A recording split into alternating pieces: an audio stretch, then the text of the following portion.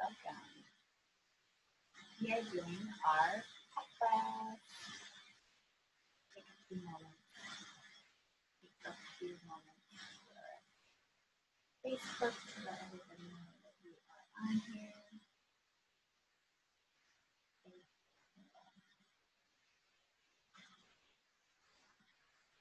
Thank you for joining me. I'm so excited to be able to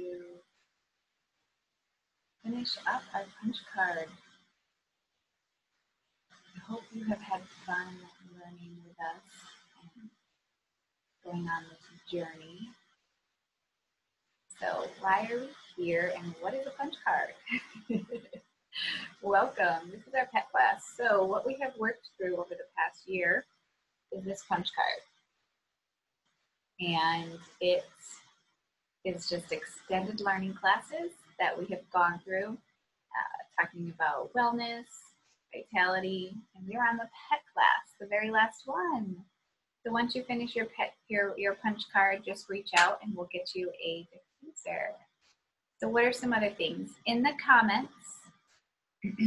I'm very hard to hear. Darn it. Let's see.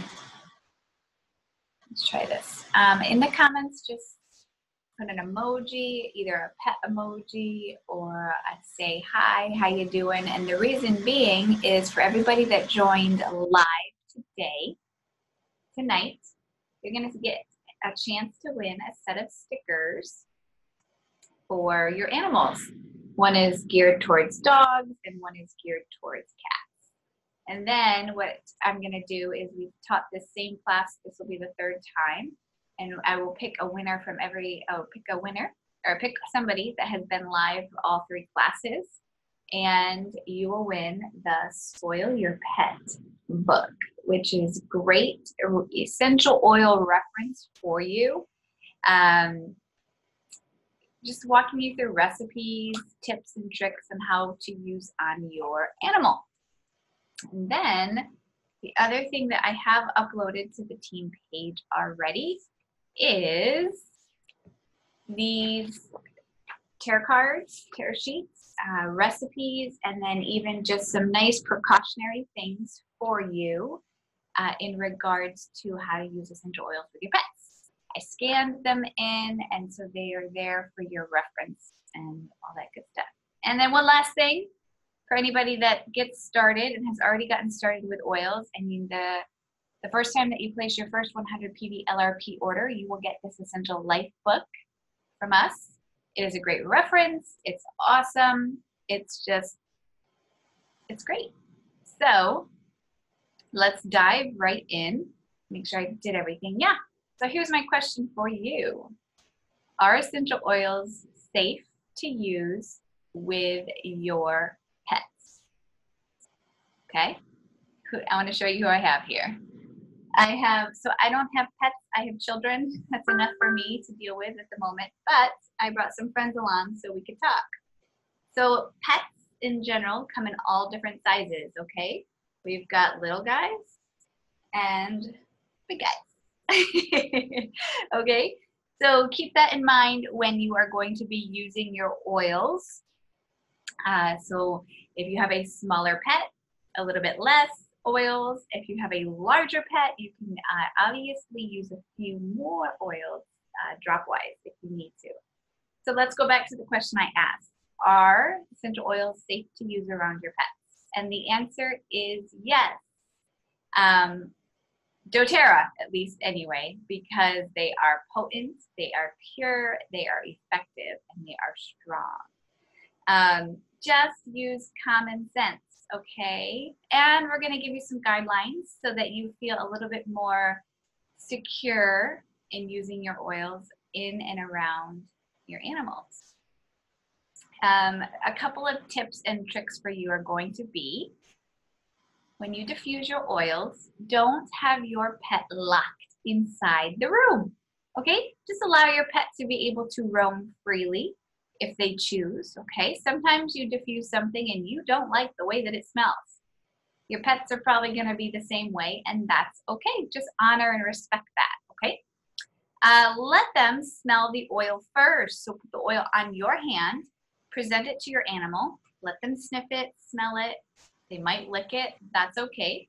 Uh, it allows them to kind of be in control and say, yeah, you know, this oil really is working with me today, or nah, I don't want that one. I'm good. And then just respect your pet's reaction. They don't like it, don't force it upon them. it's kind of the same way with kids. They don't like an oil, I'm not gonna douse them unless they're freaking out, but that's a whole nother story. okay. Um, one thing that you got to think about is animals don't do well with synthetics. So that's why it's really important to use doTERRA's pure potent therapeutic grade oils. So think about it. If you are using a, a synthetic, sometimes a hard word for me, a synthetic cleaner, you're rubbing your countertops down, you're cleaning your floors with that toxic synthetic cleaner. And what are your animals doing?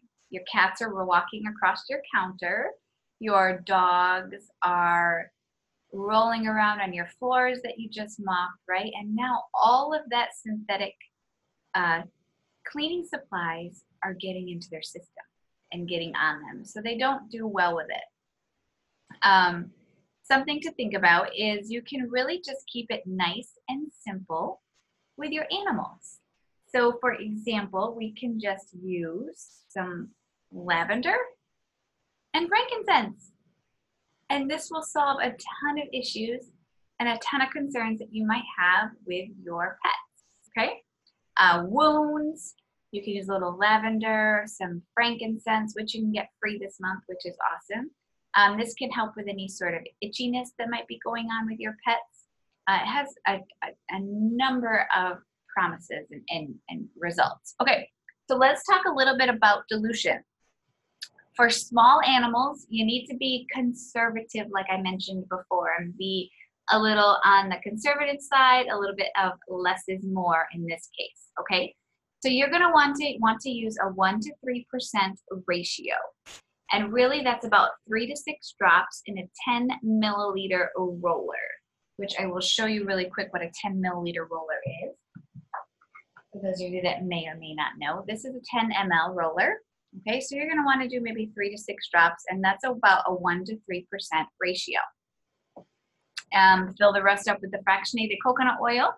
Um, even if you wanted to make a salve, you could just use some hard coconut oil and, and add a few drops of lavender and frankincense and then put that on the dog or the animal that might have some itchiness or some raw, um, some raw things. So um, that is really safe. That's a great safe ratio to start with for smaller animals. And then you can start there. And if you need to add more, you can. Sometimes it's a little hard to put roller bottles on your animals, use the roller bottles on your animals. So just putting some coconut oil and then putting a few drops of oil in your hand and then using that and, and uh, putting it on your animal is a great way. So something to think about too is for dogs more so dogs right now, right? So you can uh, put it on their ears. Okay, you're gonna want to put them on their their paws. Open up their their paws and put it in between the paws of their or in between in between whatever those are called. Something to keep in mind though, if you notice this bunny, we'll pretend it's a dog, but if you notice this, what do the ears do? They're flopping around, and we just slathered oil all over this bunny's ears, and now, what's that bunny gonna do? Right? And what do our dogs usually do? They do that. So just keep in mind of animals that have the longer ears, and if you're putting oils on there, they may actually end up getting the oil inside their eye, and that's gonna irritate them. So just use some caution a little bit on, you know, in that end of things when you're putting the oils on your animal. Just like humans, we don't like oils in our eyeballs unless you do and hey that's all that's all on you. Okay so let's talk a little bit about the oh, melaleuca okay? Melaleuca. Anyone know what i'm going to talk about with melaleuca? And cats okay? So here is the concern with melaleuca is Melaleuca with cats, their body just does not metabolize the oil melaleuca as fast as, as, as, as it would if you used it on yourself or even on a dog. Okay? So that's the real issue with it is their body doesn't metabolize it as fast. So they could actually kind of OD in, in a sense on Melaleuca. So it's really just a safe rule to say don't use Melaleuca around your cats. There are tons of other options that you can use. And just to be a little bit on the safe side with that. So that's where that is. Um, it just takes their body a little bit longer to process. Um, yeah, just do something else, like I said. All right, so some other options, okay? What are some other options? You could use geranium instead of melaleuca. And you can use arbor vitae. Arbor vitae is an awesome oil to help with any sort of fungus or irritation and stuff like that. You know, similar to how you would use melaleuca, you can use arbor vitae in that in that sense, which is great. So some other options for fleas and ticks. So thankfully right now we're in not in that season, but it can still happen, right? If you know or heard about TerraShield, TerraShield is awesome. TerraShield is a proprietary blend, all formulated and mixed up by doTERRA, and it's great to use on your animals. And we use it on ourselves as humans to keep the mosquitoes and the bugs away. This is a great option to use and to incorporate for your animals. You can put a little bit on their collar. You can do a treatment on them. Um, another way to do it to give you a better idea too, you, you put the oils on your animal's ears. You can rub it down their back. Okay, massage it that way. You can even go against the grain of the animal if you wanted to to kind of really get it in there. Even the, the bottoms and the belly. Okay, like my elephant. and then even uh, into the feet. And really, you can just kind of, what animal doesn't like to be pet, petted, or, or taken care of? And so you can really incorporate oils with that and just, you know, help your animal have a great experience. Uh, let's see. So yeah, so you just want your animal to have a good, fun experience with it. Okay, some other oils that you can use for anxious feelings. So our animals have feelings also, and so you can use some oils to help soothe them, help calm them down. So what would some oils be that you use for yourself? Think about it that way. You can also use them for your animals. Some great ones are lavender. Again, that's a great calming, a great soothing one. Geranium is one of the ones that we're just going to keep hitting home with. And so geranium is a great oil to use on your animals. It's gentle and it's it's just effective for the calming properties. Even frankincense is a great one too, just to help with the jitters that you might have going on. And again, let the animal smell it first and then put it at the bottoms on the pads of the feet, uh, in between. Can give your animal a little foot massage too that way. Uh, tips of the ears, go against the hair, with the hair, all that good stuff. So seasonal threats our animals suffer, suffer from seasonal threats. So normally with a dog, you could go ahead and use lemon, lavender, and peppermint. But my little disclaimer for you is that cats actually don't do very well with citrus oils. So what is a great substitute for lemon?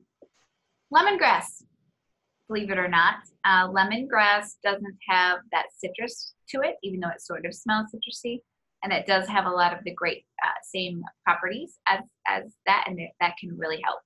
Um, again, where would you put them? You want to put it down the belly. I can actually show you on my animal here, right? Down the belly.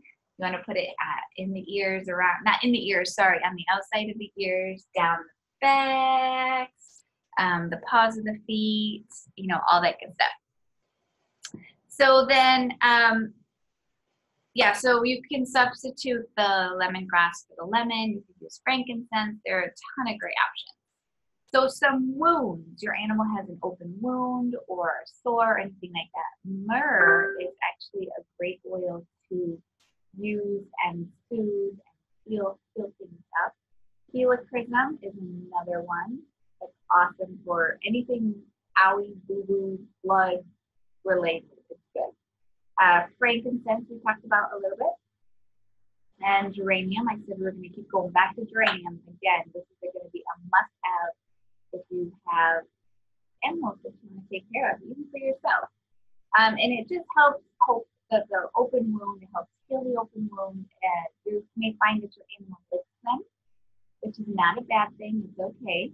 Um, most of these oils that we talked about are ingestible, and you can just use a coconut oil, hard coconut oil, make a salve, and you know, just rub it all on your open wound, not your wound, but your um, horses, uh, if you have horses or even larger animals like that, Copaiba is another great one that you can use to help just soothe, calm, um, you know, give give any sort of anxious type feelings that you might have.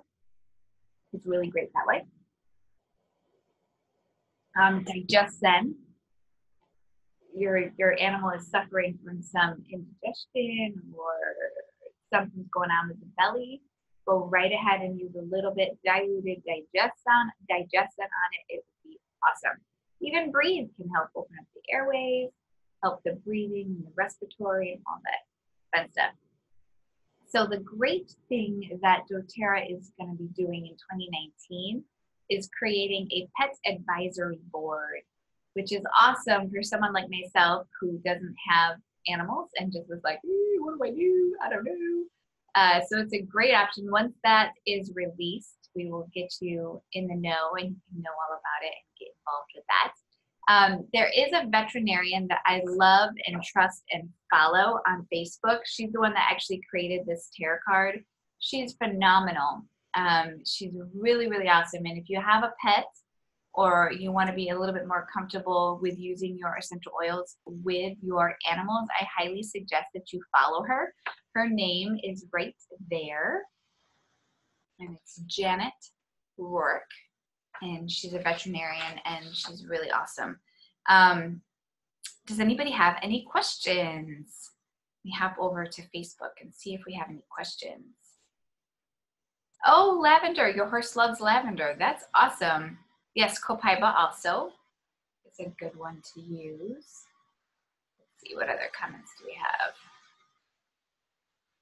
Yay. Any questions? Any questions? Not. That concludes our pet lab. I really appreciate you joining us. If you have any questions, reach out and let us know. All right. Have a great night.